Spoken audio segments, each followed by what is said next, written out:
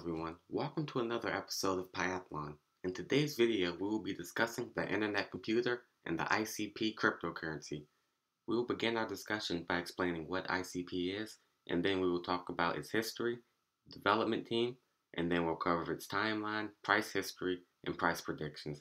I will end the video after discussing an important caveat about this crypto that I have not seen widely covered, so be sure to watch until the end so you can really understand the price drivers behind this crypto. So we'll start by explaining what is the Internet Computer and ICP. The Internet Computer is a public network that provides an environment for smart contracts that run at web speed and is scalable and it can reduce compute costs by a million times or more. The purpose of this network is for developers to build decentralized financial applications, mass market tokenized social media services, or extend decentralized applications built on the Ethereum blockchain. On their website, they also have this phrase, chase the blockchain singularity. What the founders of this internet computer mean by that is they want to create an internet that is free from the monopolistic internet providers and enable developers to host their decentralized applications directly on the internet computer. Now let's take a look at the architecture of the internet computer itself. This slide is from the Internet Computer Overview, which I highly recommend you take a look at. This slide talks about how the ICP protocol runs on top of internet connected data centers, and then the internet computer, which is the public cyberspace, is built on top of that ICP protocol. Another important thing we need to talk about is canisters, which we'll talk about now. Internet computer is made up of what they like to call canisters. The job of a canister is essentially just to host a website or application. These canisters can also connect to one another to form larger distributed systems. All of this is facilitated by the Internet Computer Protocol. And here we have a diagram where you can really see how this all comes together. So you have the Internet Computer, which is comprised of these sub-networks that are in globally distributed data centers all across the world. And then within one of those subnets, you have the capability of code execution, message routing, you have the consensus mechanism, and it's all peer-to-peer, -peer, which is one of the advantages of the internet computer. Now, you also have the developer's computer, and here you can see that they have a canister software development kit, which is essentially what allows the developer to actually host their applications directly on the internet computer. Now let's take a minute to actually talk about the physical data centers that are the backbone of the internet computer.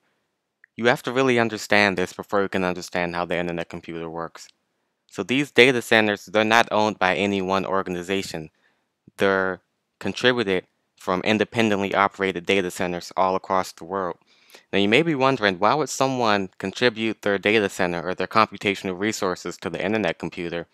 And the reason why they would do it is because they can get ICP tokens in exchange for doing so. So they have a financial incentive to donate their resources to the project. It's not really a donation because they're getting paid in exchange for it. But we're going to spend more time later in the video talking about all the ways in which you can acquire ICP tokens. Now we're going to go to another page where you can actually see what this looks like in practice. So in this simplified example, there's four data centers in four different countries. And you can see that these data centers are node providers that are the backbone of the internet computer itself. So if you host a decentralized application on the internet computer, then the actual physical location in which it might be stored is in these physical data centers. The next important concept we need to talk about are tokens and cycles, especially cycles. What a cycle is, is essentially a computational resource that allows you to develop on the internet computer. And so the way you can get cycles is you have to have ICP tokens. You can convert those tokens into cycles, and then you can develop on the internet computer. And you need those cycles as a prerequisite step in order to actually do that. So let's scroll down here. So let's say you can purchase or claim ICP tokens. In a couple of minutes, we'll talk about how you can other ways in which you can get ICP tokens. And so when you get them, you can trade them as assets for other assets, just like any other cryptocurrency. It is a currency, so you can trade it for any other crypto or asset.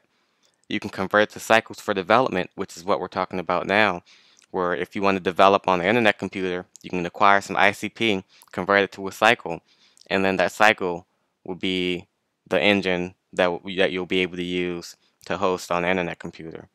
or you can lock it up in neurons for government governance. And what that means is you'll be able to manage neurons and vote and submit proposals. So if you want to have a voice in the development of the internet computer, you can lock your tokens up and neurons and then you'll be able to have a say in how it's actually governed. So those are the three things you can do if you have ICP tokens.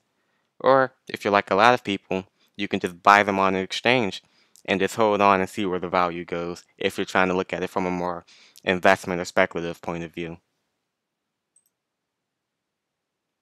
So let's take a step back and actually talk about how you can get these ICP tokens. I've already mentioned some of these methods, but I'll cover them just so we can make sure we have all our bases covered. So you can purchase your ICP tokens directly through an exchange. I know Coinbase has them, and there are a lot of other exchanges where you can buy ICP. You can claim tokens as a result of your investment.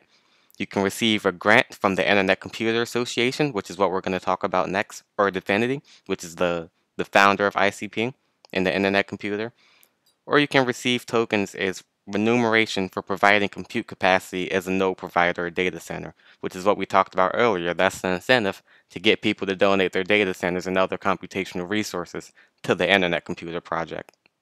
And the Internet Computer Association, the definition is ICA is a Geneva based independent mem- members organization that advocates for the Internet Computer Network while supporting and coordinating ecosystem participants so I'll just give you an analogy so you can think of what that means in the real world. If the Internet Computer is a football team, then the Internet Computer Association is like the coach and the cheerleaders all rolled into one. They sort of provide vision as well as support for the team. And so let's like take a look at who comprises the ICA. So you can see there's several companies, obviously DFINITY being one of them. But there's a lot of other companies in here, and now we're going to take a look at two of these companies. Specifically, we'll take a look at Polychain Capital, Scalar Capital, and Eterna to see the kind of companies that make up this organization. So the first one of these companies we're going to take a look at is Polychain Capital. So we're just going to go, we're on their About page now, we're just going to scroll down. And Polychain Capital is a crypto hedge fund that invests in blockchain technology and early token sales. So they're a venture capital firm, and they manage a crypto hedge fund. And we're not going to do a deep dive. You can go to their website and meet, read more about it if you want. But we're just going to quickly glance over what these companies do. So we'll move on to the next one. Eterna Capital. They don't have a whole lot on their website, but essentially they're a very similar thing. They invest in companies that are doing things with the blockchain or with crypto. And lastly, Scalar Capital was another member of the Internet Computer Association. And to be honest, there's not a lot you can find online about them. There's this one page, and then if you click their team, is there's only two people. So it says they're an investment company, but beyond that, there's not much to say about these companies. These companies seem like they're usually very small, and to be honest, I haven't heard of them before researching for this video.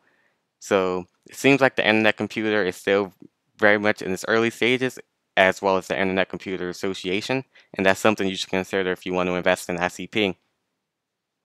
The last three things I want to cover in this video are the SDK, which stands for Software Development Kit, and then we'll start talking about the economics of the ICP token, and then we'll start talking about the past and potentially the future of the price of ICP.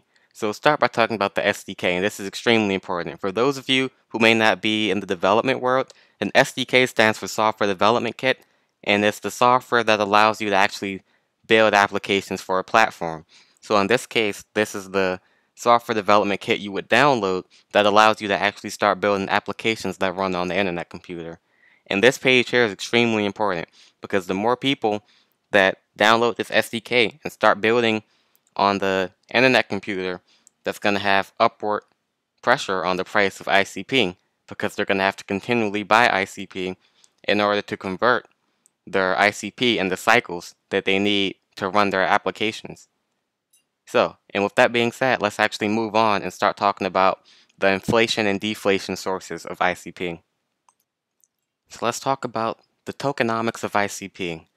The important things to remember are there are two inflationary sources and one deflationary source, and we'll talk about the inflationary sources first. And an inflationary source increases the number of ICP in circulation.